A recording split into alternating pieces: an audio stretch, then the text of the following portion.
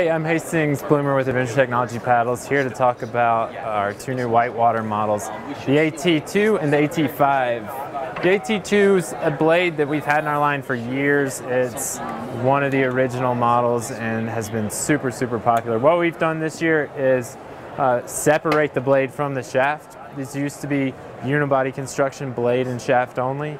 And that had some benefits but it also had some challenges maintaining uh, consistency and strength and lightweight but also grip width.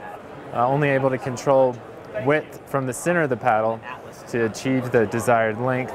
Anyway we've done away with that unibody construction and what that allows us to do is, is get a much stronger and much lighter paddle. And also offer it in straight shaft. So for the first time ever, the AT2 is available in a straight shaft construction and a bent shaft, our patented ergonomic full control grip bent shaft construction.